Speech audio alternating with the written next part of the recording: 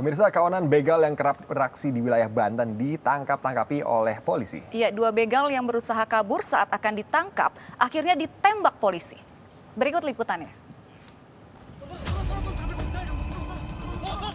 Inilah detik-detik saat petugas melakukan penangkapan para tersangka begal yang kerap beraksi di wilayah Lebak.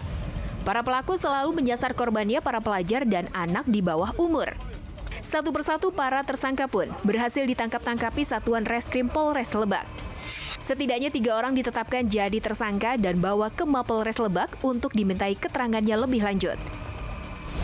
Kapolres Lebak AKBP Wiwin Setiawan mengungkapkan, kedua pelaku ini merupakan residivis pencurian kendaraan bermotor yang kerap melakukan aksinya dengan sasaran pelajar dan anak-anak yang sedang membawa kendaraan bermotor.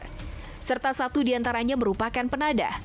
Wiwin pun menegaskan, kedua tersangka terpaksa harus dilakukan tindakan terukur dan terarah lantaran mencoba melawan petugas saat akan dilakukan penangkapan. Dari tangan tersangka, polisi menyita tiga unit kendaraan roda dua, serta satu senjata tajam yang kerap digunakan pelaku saat melancarkan aksinya.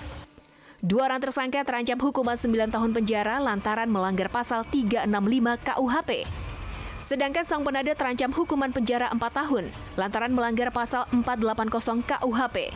Demikian laporan Siti Ma'rufah dari Lebak, Banten.